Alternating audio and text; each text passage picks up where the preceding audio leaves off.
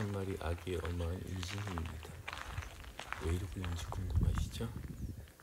21일이 되면 아기들은 가족과 인사를 하고 40일이 나오면 우리의 선견들한테 인사를 합니다.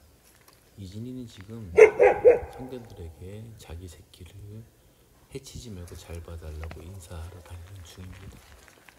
참 신기한 모습이죠.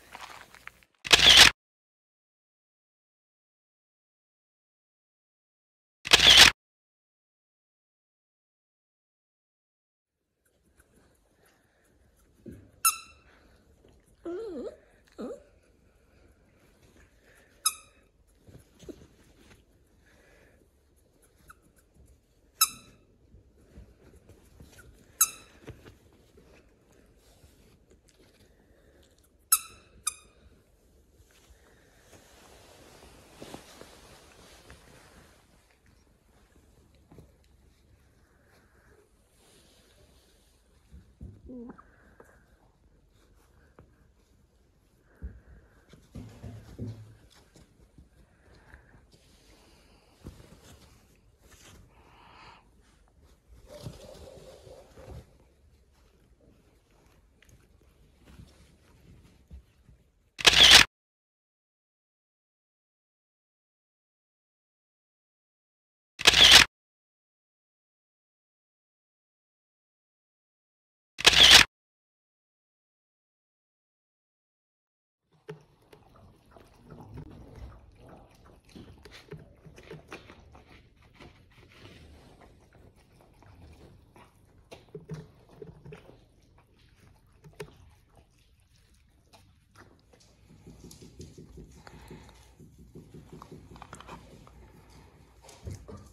छोटे से क्या मर रहे हो